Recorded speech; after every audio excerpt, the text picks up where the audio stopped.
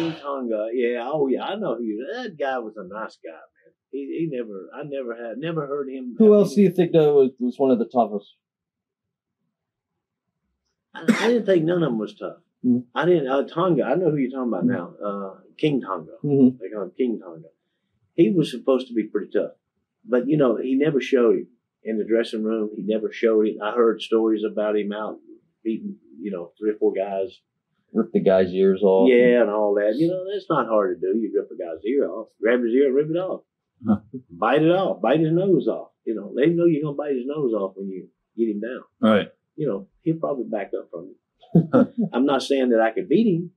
I'm not saying that I, I wouldn't. I wouldn't back down from it, but I wouldn't put myself in a position to have to back down from it because I know what kind of reputation he's got. He, but he's a nice guy. You you, you wouldn't. You would never get in that position with him if you weren't a piece of garbage yourself. You know what I mean? Right. And that's what I'm saying. These these guys that are tough, man, they, they got these reputations of being tough.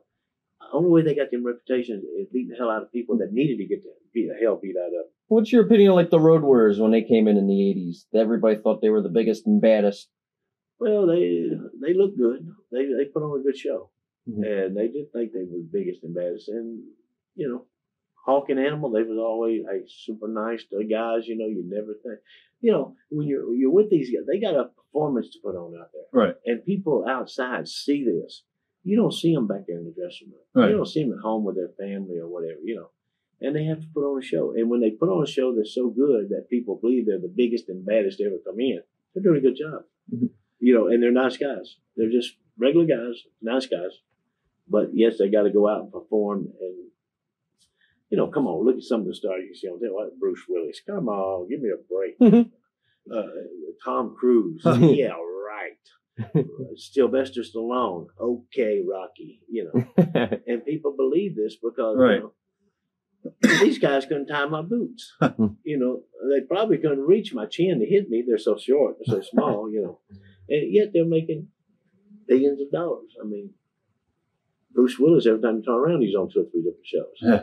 And this guy, you know, he, he's pathetic. Good actor. That's what he does.